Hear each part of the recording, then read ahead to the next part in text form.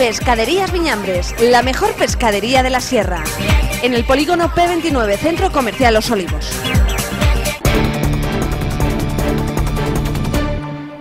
La Asociación Española contra el Cáncer en Collado Villalba ha programado diversas acciones dentro de su campaña anual. La primera de ellas tendrá lugar el próximo día 3 de junio. La acuestación que realiza tradicionalmente y que para ello colocará diversas mesas informativas en puntos estratégicos de la localidad.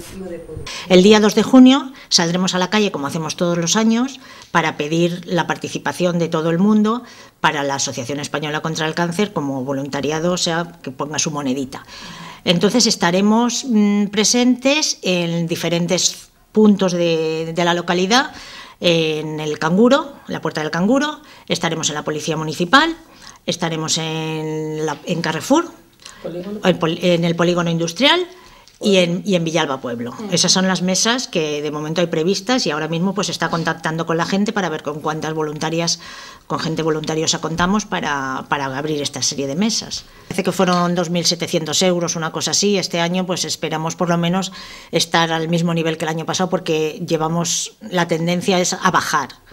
Pero no es la única cita que tenemos con la Asociación Española contra el Cáncer. El día 9 de junio una cita en la ciudad deportiva, un encuentro entre el Atlético Villalba y Unión Adarve. Todo lo recaudado será beneficio de la Asociación Española contra el Cáncer. El 9 de junio está el torneo contra el cáncer de mama que lo han organizado los chavales del Club Atlético de Villalba y van a jugar un partido de fútbol amistoso con la Unión Adrave Barrio del Pilar y entonces la venta de las entradas es a 5 euros y esto va destinado a la lucha contra el cáncer de mama. Por último, el próximo 27 de junio la Asociación Española contra el Cáncer en Collado Villalba tiene previsto realizar una campaña del cáncer de piel. Bueno, el 27 de junio una campaña contra, contra la prevención del cáncer, del cáncer de, de, piel.